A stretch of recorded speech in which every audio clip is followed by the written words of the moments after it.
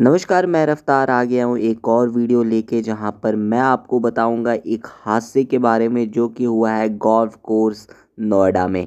मैं आपको बता दूँ, यहाँ पर तेज़ हवाएँ चल रही थी और एक नीम का पेड़ गिर जाता है मारुति सुजुकी इको के ऊपर।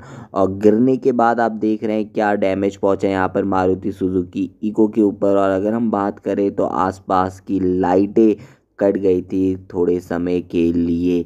और अगर हम बात करें इस हादसे में किसी को चोट पहुँची है या नहीं तो मैं आपको बता दूँ, नहीं, इस हादसे में किसी को भी चोट नहीं पहुँची। और जो नीम का पेड़ है, वो पूरी तरह से गाड़ी के ऊपर नहीं गिरता है, हल्का बहुत उसके जो ब्रांचेस होते हैं, वो गिर जाता है। जो मेन तना होता है, वो अभी भी रूट यानी ज़मीन से जुड़ा हुआ रहता है। और मैं आपको बता दूँ, इस हादसे में किसी को भी चोट नहीं पहुँची। हालाँकि यातायात यानी जो आस के लोग हैं, उन्हें जाने आने में काफ़ी ज़्यादा दिक्कतें हो रही थी और लाइट कट गई थी, जैसा मैंने आपको बताया।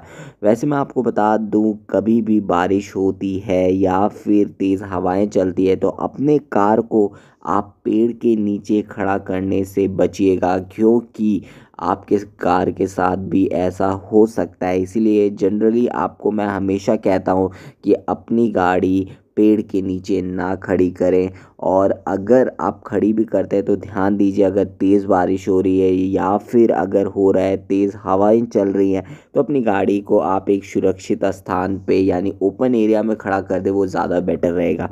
बाकी आपको वीडियो अच्छी लगी तो वीडियो को लाइक, चैनल को सब्सक्राइब जो करेगा। इसी के साथ सेफ्टी से रिलेटेड वीडियो या फिर नई गाड़ियों के बारे में इंफॉर्मेशन चाहते हैं तो मेरे यूट्यूब चैनल को ज़रूर सब्सक्राइब कर ले। This is me signing off रफ्तार सेवेंटी एट इलेवन जय हिंद, जय भारत। फोर व्हीलर चाहते हैं प्रॉपर तरीके से सीट बेल्ट टू व्हीलर चाहते हैं हेलमेट ज़रूर पहनिए। आपके प्यार की काफ़ी ज़्यादा ज़रूरत है सपोर्ट की काफ़ी ज़्यादा ज़रूरत है तो चैनल को सब्सक्राइब करे बिना मत जाइएगा।